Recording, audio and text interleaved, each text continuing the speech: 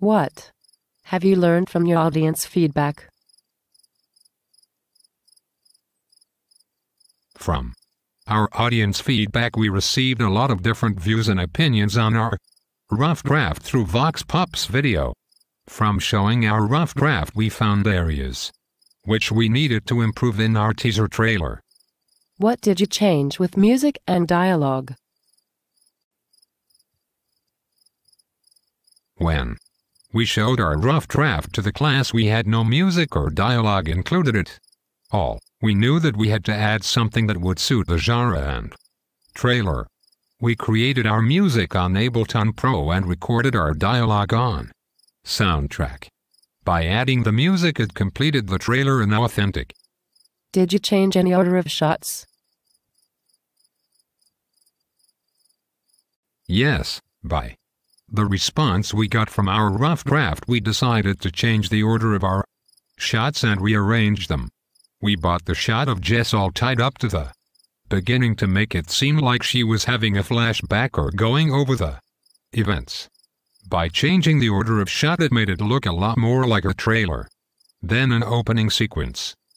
What else did you change? We added freeze frames throughout our trailer to emphasize important shots of the trailer, such as when the boyfriend couldn't get through to Jess on the phone, and it going straight to voicemail.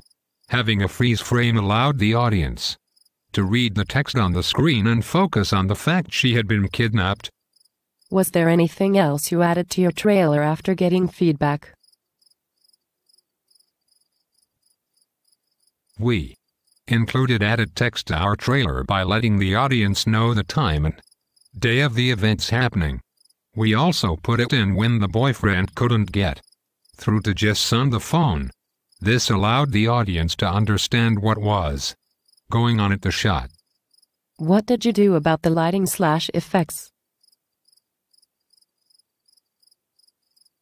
By changing the light and making it darker, it really suited the style and genre of our trailer. It made it look an action, crime, thriller genre and fitted the mood slash trailer's atmosphere. Did you add any other shots to your trailer? We also added a shot to the trailer, which was of the driver in a mask looking in the rearview mirror.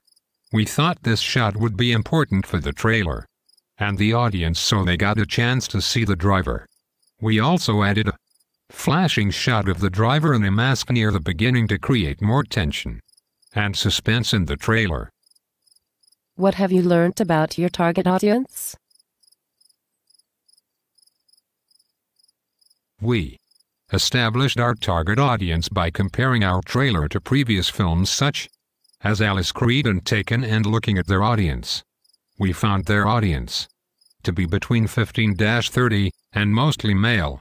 Our film trailer had a similar audience of teenagers and young adults aged between 15 25.